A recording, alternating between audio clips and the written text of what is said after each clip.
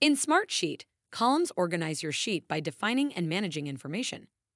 Each column type has unique properties to help structure details and streamline your work. How you set up columns affects not just your sheet, but also reports, automations, dashboards, and more. Let's review all the types of columns you can use to power your sheets and how to change the properties of your columns. You must be a sheet admin to fully manage, control, and move columns around. Let's build a sheet for tracking tasks. First up is the primary column, which is the foundation of any sheet used for key information. It's the only column that must be a text number column type. Let's change the column name. Open the Column Options menu. Then select Column Properties. Here is where you can change the column name, add a description if needed, or change the column type. However, remember the primary column must be a text number column. Let's change the column name to task name. Select Apply. Go ahead and enter the task names into your sheet. Next, let's add a contact column so you can assign each task to a teammate. You can add columns by hovering your mouse between two columns, then select the Add Column shortcut. Select Contact List. Name the column assigned to, then adjust any settings as needed. Then use the drop-down menu to assign contact values. When you are done, select Apply. In the cell, use the drop-down arrow to add a contact value for the row. Repeat for each row. Next, let's add start and end date columns. You need at least one date column to use Timeline View. You can use the Add Column shortcut, or you can use the Column Options menu to edit the existing columns. Open the Column Options menu. Select Column Properties.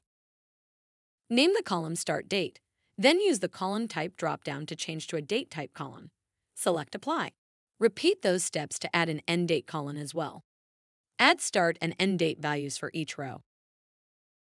Next, let's add a drop-down list column to track the status of each task. Select drop-down list from the column type options. You can adjust the settings to be single or multi-select and restrict from list values as needed. When you add list options, use the color box to remove or change the assigned color value. Add the rest of the status values, then select Apply to save your changes. Now you can add a status value for each row. Next, let's add a checkbox column to track approval status. Name the column Approved. Pick the checkbox column type and use the drop-down box to pick from a checkbox, flag, or star. Select Apply to save your changes, then check each row that has been approved. Next, let's add a Symbols column to track the health of each task. Name the column Health and select Symbols as the column type. Use the drop-down menu to select the best set of symbols for your data. Select Apply, then add a symbol for each row. Then let's add an auto number column to automatically assign each task a unique ID number. Name the column Task ID. Then you can give the auto number a prefix or a suffix.